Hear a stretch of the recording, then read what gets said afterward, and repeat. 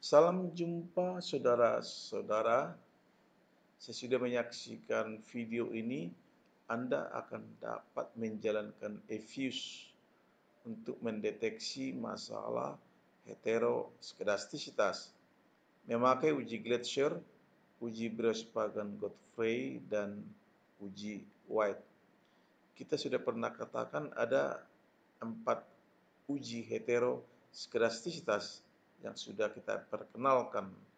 Keempat uji tersebut adalah uji Goldwet Queen, uji Glacier, uji Brespagan Godfrey, dan uji White. Uji Gold Goldwet Queen sudah kita praktekkan memakai Excel, memakai baik memakai regresi linear sederhana maupun regresi linear berganda. Mengapa Excel? Karena ada kemudahan yang diberikan Excel saat kita mengurutkan atau memeringkat variabel independen yang terpilih dari yang terkecil hingga yang terbesar. Kemudian lainnya juga kita peroleh saat memutuskan apakah residu-residu yang dihasilkan regresi mengandung masalah heteroskedasitas atau tidak. Selanjutnya kita lebih memilih memakai SPSS untuk uji Glacier, uji Bresbagan Godfrey, dan uji White.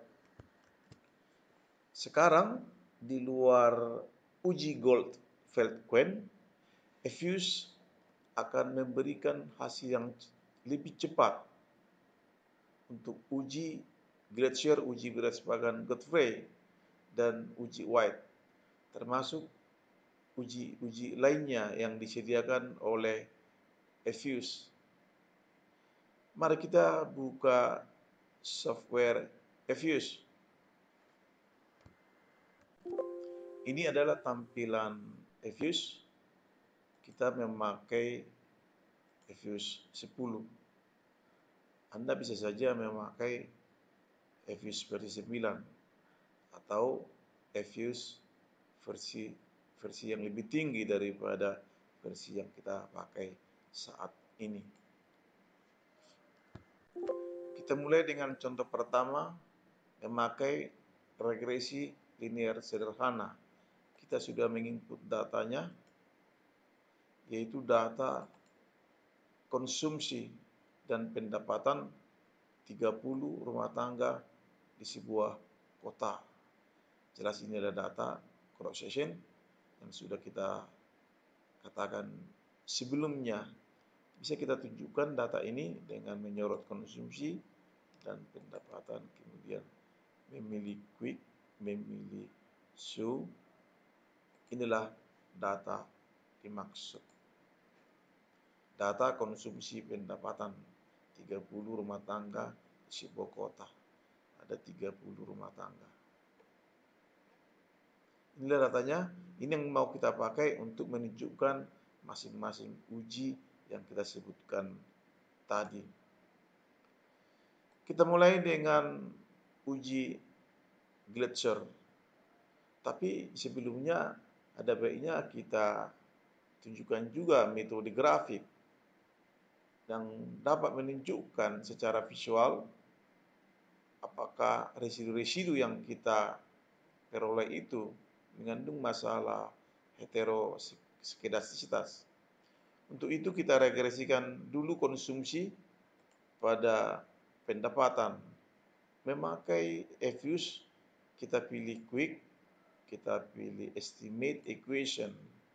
Kemudian kita tulis perintah ini konsumsi sebagai variabel independen, kemudian kita tulis spasi, kemudian menuliskan C sebagai koefisien intercept atau koefisien konstanta nantinya. Kemudian kita menuliskan selanjutnya uh, variabel independen atau regresor pendapatan. Kita klik OK. Inilah hasilnya. Dengan hasil ini memakai Fuse kita sudah memperoleh dengan sendirinya residu-residu yang kita cari itu. Inilah residu yang dihasilkan dari regresi konsumsi pada pendapatan. Sekarang memakai metode grafik, coba kita tampilkan plot residual ini, plot residu ini dengan residu yang tidak distandarisasi ya pada sumbu vertikal dan pendapatan pada sumbu horizontal. Boleh juga kons boleh juga konsumsi yang di-estimate ya yang diprediksi predicted predicted consumption sebagai variabel independennya. Tapi dalam hal dalam hal ini cukup kita menunjukkan uh, pada sumbu horizontal kita mengukurkan pendapatan lalu kita melihat secara visual adakah indikasi heteroskedastis atau tidak. Caranya adalah memakai fuse, kita close ini. Kita menyorot resit uh, untuk horizon, sumbu horizontalnya kita memilih duluan pendapatan, kemudian memilih residual, resit, kemudian pilih quick, pilih graph, oke, kita pilih scatter, Oke, inilah hasilnya teman-teman. Ya, jadi residu residu yang non standarisasi pada sumbu vertikal dan pendapatan variabel independen pada sumbu horizontal. Sekali lagi, ini bisa juga kita ukurkan pendapatan yang konsumsi yang diprediksi, tapi untuk penjelasan kita cukup memakai pendapatan. Apa yang kita lihat? Ada kesan, ada indikasi heteroskrasitas. Saudara lihat residu-residu ini menyebar di atas garis nol atau di bawah garis nol dan residu-residu semakin melebar seiring dengan peningkatan pendapatan ini. Jadi ada indikasi heteroskrasitas dalam residu-residu ini. Sekarang kita kembali ke uji Letcher sebagai uji yang formal untuk mendeteksi heteroskedastas. Kita close dulu ini. Yes. Kemudian kita kembali memilih quick estimate equation. Lalu menuliskan konsumsi C sebagai koefisien konstanta atau koefisien intercept, kemudian variabel independennya atau regresornya yaitu pendapatan. Kemudian kita klik OK. Inilah hasilnya yang sudah kita tunjukkan tadi. Sekarang memakai Fuse, uji-uji tersebut dengan mudah cepat dapat ditunjukkan. Dengan cara memilih mengklik view ini, kemudian memilih residual diagnostik, kemudian memilih hetero scarcity Tampak bahwa berbagai uji-uji hetero skarsitas mulai dari Berespagan Godfrey yang sudah kita bahas, Harvey, Glacier, Arch, White, dan Custom Patch Wizard. Kita akan menunjukkan tiga uji yang memakai FIS sebagaimana sudah kita lakukan memakai software lainnya. Sekarang memakai uji Glacier, kita pilih Glacier. Saudara lihat di sini kita melakukan regresi, kita menaksi regresi pembantu. Dalam regresi pembantu auxiliary regression itu variabel dependennya adalah residu absolut resid yang sudah kita bahas sebelumnya di SPSS. Sedangkan regresornya atau variabel independennya adalah pendapatan. Tetap memakai koefisien konstanta C, kemudian kita memilih OK. Inilah hasilnya uji Gletscher. Bagaimana memutuskan apakah residu residu tadi memang mengandung hetero skedasitas, ada dua statistik uji dapat kita pakai, yaitu statistik uji F dan statistik uji OPS times R square. Artinya pengamat, jumlah pengamatan kali R pangkat 2 koefisien penentuan. Memakai statistik UGF, statistik UGF ini diandaikan mengikuti distribusi F dengan pembilang derajat kebebasan K kurang 1, DF1, dan penyebut derajat kebebasan N kurang K sebagai DF2. Memakai regre, hasil regresi ini K kurang 1 sama dengan 1. K adalah jumlah koefisien yang diestimasi. Jadi DF1 sama dengan 1, sedangkan DF2 N kurang K 30 kurang 2 sama dengan 28. Memeriksa tabel F dengan alfa yang kita pilih 5%, maka F tabel itu adalah 4,1960. Ternyata F hitung ini lebih kecil dari F tabel 4,1960. Artinya kita tidak dapat menolak H0 yaitu hipotesa homosekedastisitas. Jadi tidak sejalan dengan metode grafik tadi. Tapi kalau kita memakai alfa 10%, memeriksa tabel F dengan DF1 sama dengan 1, DF2 sama dengan 28, F tabel adalah 2,8938. Ternyata angka F hitung ini sudah lebih besar daripada F tabel. Berarti kita dapat menolak hipotesa homoskedasitas. Artinya ada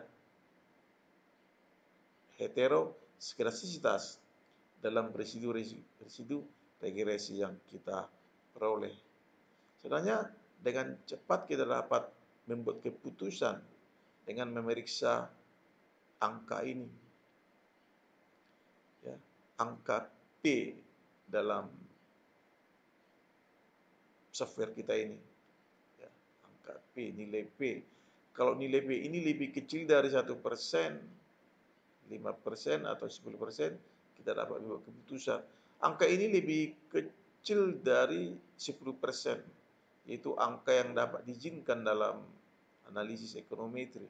Ini berarti pada alfa 10 persen kita dapat menolak hipotesa homoskedastisitas. Dengan kata lain, ada heteroskedastisitas dalam residu-residu yang kita peroleh. Sebagai alternatif, alternatif lainnya dapat kita memakai statistik uji ini. Ya, ini bisa kita simpulkan sebagai N R pangkat 2, N kali R pangkat 2 dapat Anda periksa di sini kalau kita kalikan N30 dengan R pangkat 2 N dengan R pangkat 2 ini maka hasilnya adalah 3,563975 sebagai dasar keputusan ini statistik NR pangkat 2 ini diasumsikan mengikuti distribusi chi-square dengan derajat kebebasan df jumlah adalah jumlah regresor atau jumlah variabel independen. Dalam hal ini jumlah variabel independen adalah satu. Memeriksa tabel chi-square ya, pada alfa 5 persen dengan DF sama dengan 1, maka nilai chi-square adalah 3,841. Karena angka ini ya, angka ini lebih kecil daripada angka chi-square tabel 3,841, maka kita tidak dapat menolak H0. Tapi kalau kita memakai alfa 10% dengan derajat kebebasan yaitu jum, banyaknya jumlah regresor atau jumlah variabel independen sama dengan satu, maka angka chi-square adalah 2,706. Jadi angka ini jelas lebih besar daripada angka chi-square tabel 2,706. Artinya kita dapat menolak H0 hipotesa homoskedastisitas. Lagi-lagi memakai angka ini. Ya, kalau ini kita bulatkan dua angka di belakang koma 0,06 ya lebih kecil daripada angka tingkat signifikansi yang diizinkan 10%, kita dapat juga katakan bahwa dengan alfa 10%, ya, kita tidak kita dapat menolak hipotesa homoskedastisitas. Jadi sejalan dengan metode grafik tadi. Sekarang kita menunjukkan uji Bresch Pagan Godfrey kita close dulu ini. Delete yes. Kita lagi menyalin ya equation. Konsumsi C pendapatan. Oke. Okay. kemudian kita memilih view memilih residual diagnostik hetero dan memilih Breus Pagan Godfrey sering juga dengan akronim uji BPG. Saudara lihat di sini ya, dalam regresor dalam regresi pembantu auxiliary regression variabel dependennya adalah residu pangkat 2 seperti sudah kita bahas sebelumnya. Sedangkan regresor atau variabel independennya adalah sama dengan uji Glacier. Tetap kita masukkan faktor konstan tak C dan variabel pendapatan. Demikian kita klik OK. Hasilnya adalah ini. Lagi-lagi ada dua statistik uji dapat kita pakai dalam memutuskan penolakan atau penerimaan hipotesa nol. Memakai statistik uji F dengan DF1 tadi sama dengan 1, DF2 sama dengan 28, memeriksa tabel F dengan alfa 5%, maka angka F tabel adalah 4,1960. Ternyata angka F hitung ini lebih besar daripada angka F tabel 4,1960. 1960 yang berarti kita dapat menolak hipotesa nol. Jadi ada heteroskedastisitas dalam residu. Sebenarnya dengan cepat kita dapat membuat keputusan itu dengan memeriksa ini bahwa angka P ini lebih kecil daripada angka alfa tingkat signifikansi yang diizinkan yaitu 1%, 5%, 10% dalam hal ini adalah 5%. Sekali lagi, tanpa mengatakan yang tadi, kita dapat langsung katakan bahwa pada alfa 5% kita dapat menolak hipotesa homoscedastas. Demikian juga cara statistik yang lain ya untuk dasar keputusan kita yaitu dengan memeriksa n r pangkat 2 ini. Ya. Lagi-lagi ini angka ini lebih kecil, lebih besar daripada angka chi-square tabel sebesar uh, sebesar 2,3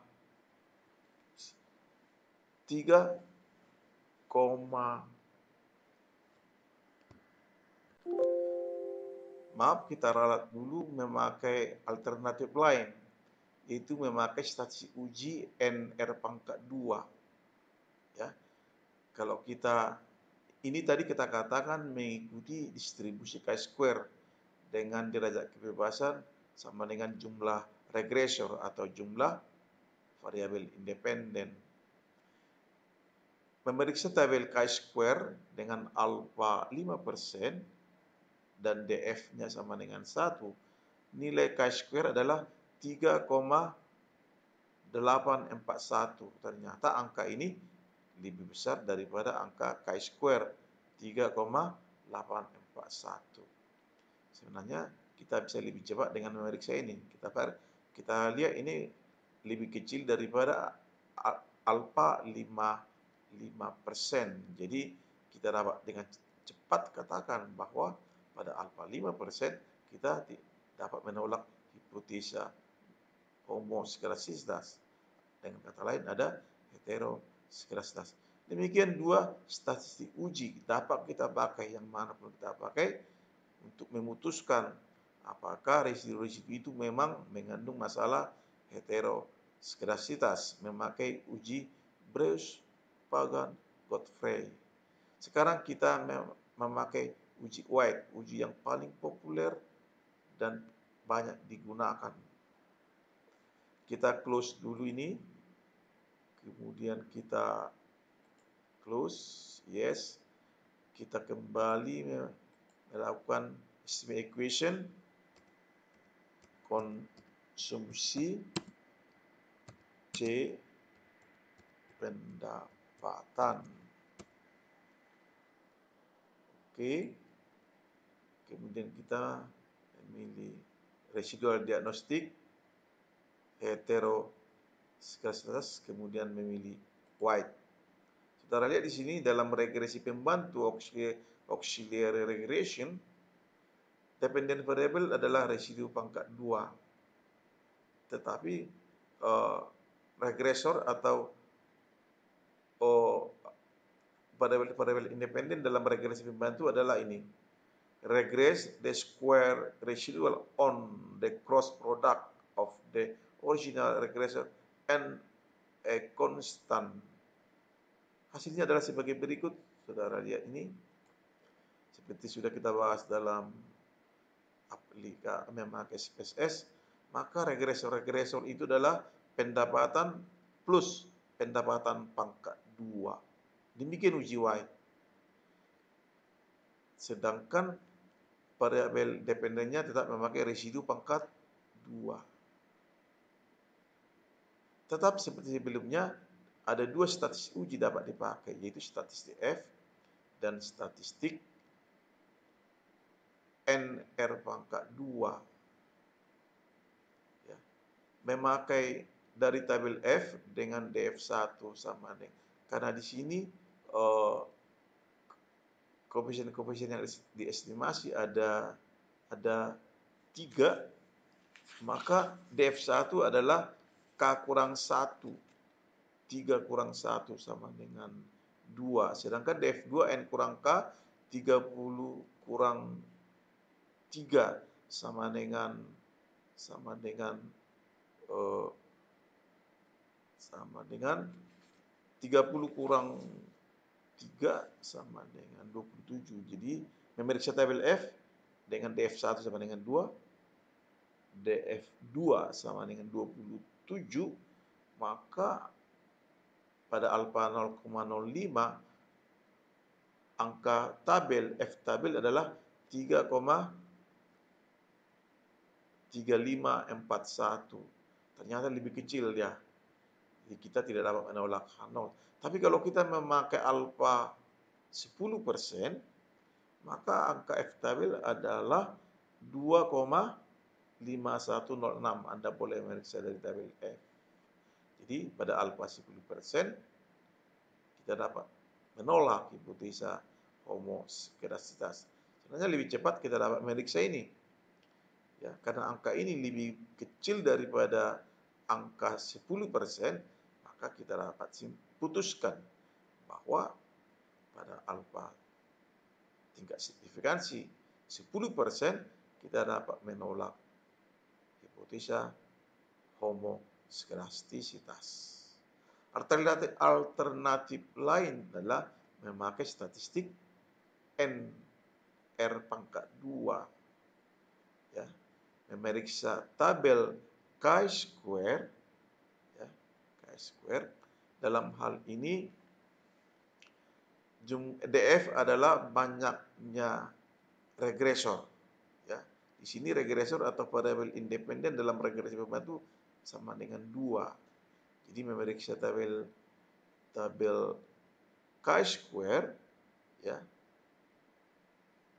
pada alfa 5% dengan DF sama dengan 2 chi-square sama dengan 5,991 ternyata angka ini lebih kecil daripada 5,991 kita tidak dapat menolak nol. Tapi kalau kita memakai alfa 10% ya maka angka ini lebih besar daripada angka chi-square tabel yaitu 4,605 5, angka ini lebih besar daripada angka 4,605 sebenarnya lebih cepat periksa ini. Karena angka ini lebih kecil daripada alfa 10% kita dapat simpulkan bahwa kita dapat menolak. Nol hipotesa homoskersitas ada heteroskersitas jadi sejalan dengan uji Gletscher dan uji BPG dan juga sebelumnya sudah diindikasikan oleh hasil dari metode grafik. Demikian ketiga uji heteroskedasitas memakai regresi linear sederhana. Sekarang kita memakai hasil dari regresi linear berganda. Kita close dulu ini. Yes. Close. No. Kita sudah input datanya. Yaitu data yang sudah kita pakai sebelumnya data yang melibatkan regresi linear berganda yang memakai regresi linear berganda di mana Y adalah investasi bruto, X1 adalah penjualan dan X2 adalah indeks produktivitas. Jadi dalam hal ini hubungan itu adalah hubungan investasi bruto pada penjualan dan indeks produktivitas. Bisa kita tunjukkan angkanya. Y, kita sorot Y, X1, Y, X1, X2. Show. Inilah datanya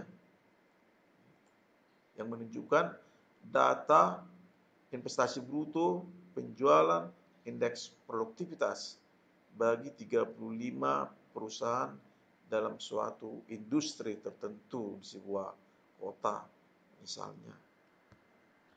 Sekarang kita mau memeriksa apakah mengandung heteroskedastisitas residu-residu yang dihasilkan oleh regresi Y pada X1 dan X2.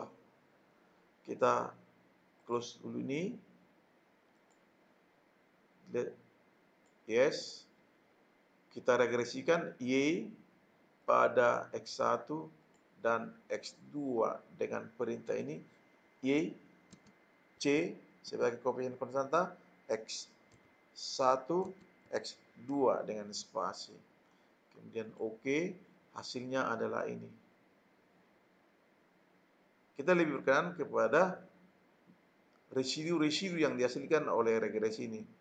Seperti tadi sudah kita sebutkan, memakai FUS residu-residu sudah dengan sendirinya ada dalam kotak ini.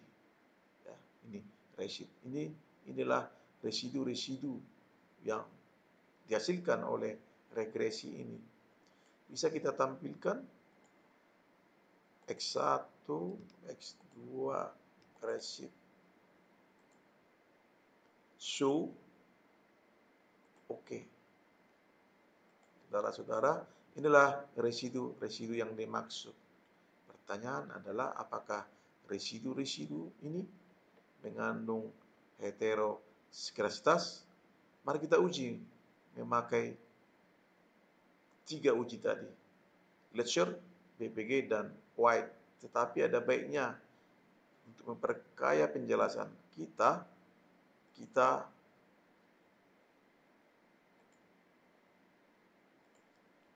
menunjukkan metode grafik ya yang menghubungkan residu un, yang tidak dibakukan ini unstandardized residuals dengan Y diprediksi atau pada salah satu variabel independen ini. Ya, untuk praktisnya coba kita tunjukkan dulu skaternya. Kita kita tulis duluan uh, bisa juga bisa juga y-nya ya kemudian ya para ahli kronometri pada umumnya memang memakai y kemudian residual yang kita peroleh ini resid oke. Kita pilih scatter oke. Teman-teman inilah hasilnya. Ini adalah garis 0 ini adalah variabel independen eh variabel dependen y sekali lagi boleh memakai y diprediksi boleh memakai salah satu variabel independen kita kesan kita adalah bahwa residu-residu ini tidak tidak menyebar terkonsentrasi di atas atau di bawah garis nol ini malah melebar ya melebar semakin besar ya dengan sejalan dengan meningkatnya variabel ini. Jadi sekali lagi ada indikasi residu-residu ini mengandung heterosklerastisitas. Sekarang mari kita lihat secara lebih formal memakai ketiga uji tadi yaitu uji Gletscher, uji BPG dan uji White. Kita close dulu ini. Yes. Kemudian kita estimasi lagi ulang Y, C, X1, X2. Kita klik OK. Kemudian kita pilih View, Residual Diagnostic, Hetero Test. Kita pilih awalnya pertama uji Gletscher dulu. Saudara lihat di sini bahwa dalam apa yang disebut dengan tadi regresi auxiliary dependennya adalah residu absolut ya residu absolut sedangkan regresornya adalah semua ya pada umumnya para periset memilih semua variabel independen itu. Boleh juga tidak. Ya tapi untuk pro, untuk sugesti apa untuk usul kita untuk prosedur kita mari kita tunjukkan semuanya. X1 dan X2 sebagai regresor-regresor atau variabel-variabel independennya. Kita klik. OK, hasilnya adalah ini. Apa yang kita lihat saudara-saudara, dengan cepat kita dapat memutuskan. Kalau kita tadi kita lihat ada dua statistik uji untuk memutuskan apakah menolak atau menerima hipotesa homoskedastisitas dalam regresi linear berganda ini. Dengan cepat kita dapat periksa ya. Ada memakai statistik UGF alfa nilai V di sini jauh jauh lebih besar daripada angka 10%. Ya, jangankan 1 dan 5%, tapi pada angka 10% ini menunjukkan bahwa ada, kita tidak dapat menolak hipotesa homoseksualitas. Jadi tidak konsisten dengan hasil metode grafik tadi. Ya. Bikin juga memakai statistik uji NR pangkat 2. Ini angka ini sangat jauh, jauh lebih besar ya daripada angka 1 persen, 5 persen, apalagi 10 persen. Nah, 10 persen, 5 persen, apalagi 1 persen. Jadi dengan 10% saja kita tidak dapat menolak hipotesa nol. Jadi dua-duanya kedua stasiun uji yang kita pakai ini tidak sejalan dengan metode grafik tadi. Kita tidak menjelaskan detailnya mengapa demikian. Jadi dalam prakteknya mungkin bentuk fungsional regresi pembantu ini harus kita modifikasi begitu rupa sehingga mungkin hasilnya sejalan dengan metode grafik tadi yaitu ada indikasi heteroskedastisitas. Sekarang kita memilih uh, kita memakai uji BPG untuk cepatnya kita kembali dapat memilih ini estimate dan tadi ini okay. kemudian kita memilih uh, residual diagnostik memilih BPG ini sendiri. Di sini saudara lihat seperti sebelumnya menjadi variabel dependen adalah residu pangkat 2 dalam regresi pembantu. Sedangkan regresornya atau variabel-variabel independennya adalah X1 dan X2 memilih semua variabel independen yang ada. Kemudian kita klik OK, hasilnya adalah sebagai berikut. Lagi-lagi kita dapat memilih atau memakai keduanya dua statistik uji dalam pembuatan keputusan ditolak atau diterima nol. Lagi masih seperti uji uh, tadi angka ini ya, jauh lebih besar daripada angka 10% ya. Jangankan pada 1 5% pada angka tingkat signifikansi 10% kita tidak dapat menolak no. Jadi tidak sejalan dengan uh, hasil metode grafik tadi. Jadi konsisten dengan uji uh, Gletscher tadi. Demikian juga memakai statistik uji yang NR pangkat 2 ini. 0,4970. Ya, sangat besar. Jauh lebih besar daripada angka 0,10 alfa 10 persen. Jadi baik memakai keduanya kita tidak dapat menolak hipotesa uh, kita tidak dapat menolak hipotesa heteroskesitas ya. kita ada ternyata residu-residu mengandung meng, me, mengandung homoskedastisitas yang tidak sejalan dengan yang tadi itu uji Bruce Pagan Godfrey di luar penjelasan kita Mengapa demikian? Lagi-lagi kita mungkin mengubah bentuk fungsional. Ya, ada referensi-referensi yang bisa saudara pakai untuk menjelaskan itu. Tapi kita dalam modul ini, ya dalam pembelajaran ini hanya menunjukkan prosedur bagaimana uji BPG itu dipraktekkan. Begini, saudara-saudara. Demikian uji BPG akhirnya kita dapat memakai uji terakhir yaitu uji White yang diklaim sebagai uji yang paling populer dan banyak digunakan. Untuk menghemat waktu, kita pakai aja ini estimate. Ini yang tadi, perintah tadi.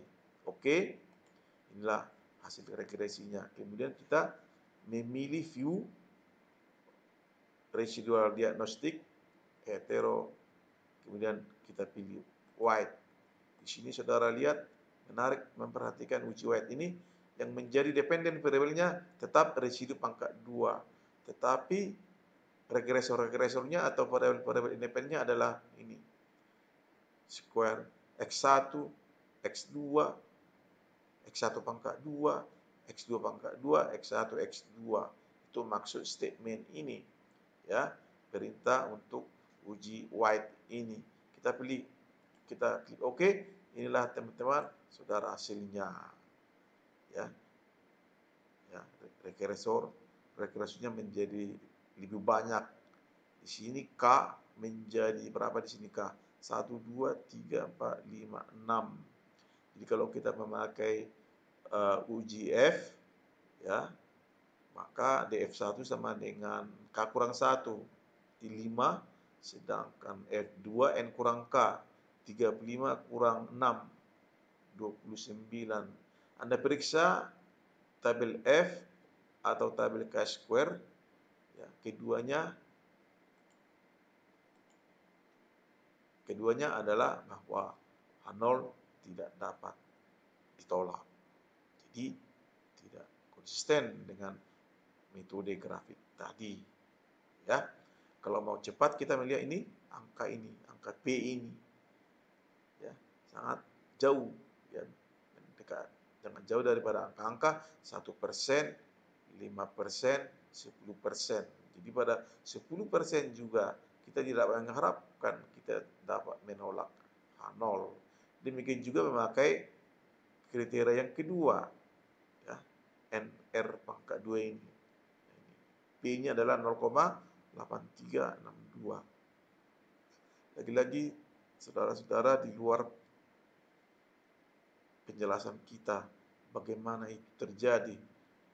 Jadi dalam referensi kita dapat membaca bagaimana ini diubah begitu rupa, ya, begitu rupa sehingga mungkin memang ada heterosekrasitas seperti diindikasikan oleh metode grafik. Demikian uji White kita sudah menunjukkan tiga uji tersebut Gretcher, BPG dan White. Saudara-saudara, demikian pembahasan kita memakai EFUSE untuk mempraktekkan tiga uji yang sering dipakai dalam praktek uji Glacier, uji BPK, apalagi uji White. Terima kasih Anda sudah menyaksikan video ajar ini. Jangan lupa like, komen, subscribe, dan share video-video dalam channel ini. Untuk keberlangsungan channel ini juga video-video pembelajaran di masa akan datang. Sampai jumpa